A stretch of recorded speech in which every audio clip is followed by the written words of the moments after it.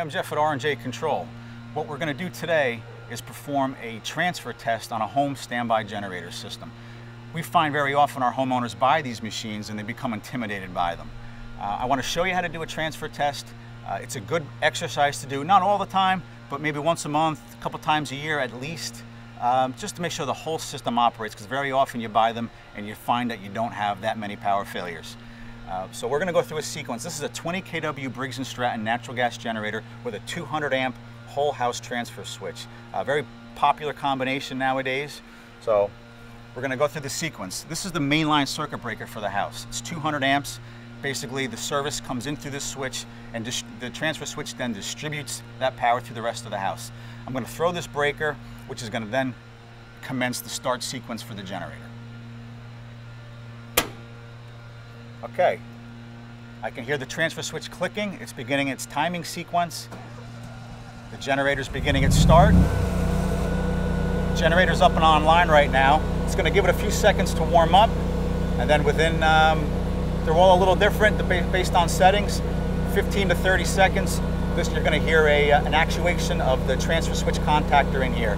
That will then distribute power back to the rest of the house on generator. Okay, the house is fully on generator power now. It's as simple as that. This is a installation where the transfer switch is outside the house with the generator. Your installation may have this transfer switch in a basement or a garage.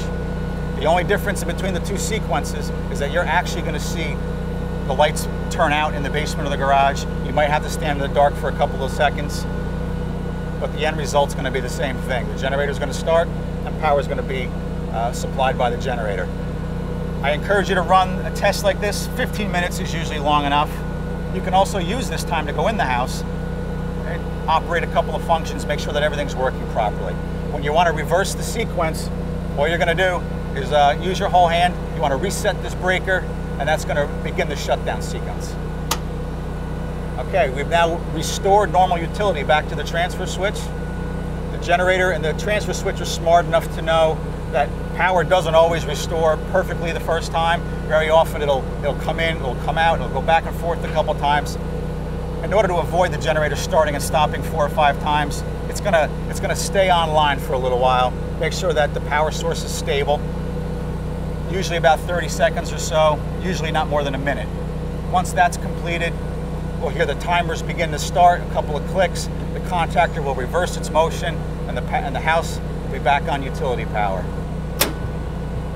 Okay, so there we have it. We're back on utility again. The machine is going to run for maybe another minute or so uh, just to finish its cool down sequence. And um, just in case power did go out again, your machine's already running, the transfer would be that much faster. That basically concludes a home transfer test on your Briggs & Stratton uh, 18 to 20 kW, but these rules apply for the entire line, and it basically is the same sequence of events for any manufacturer generator.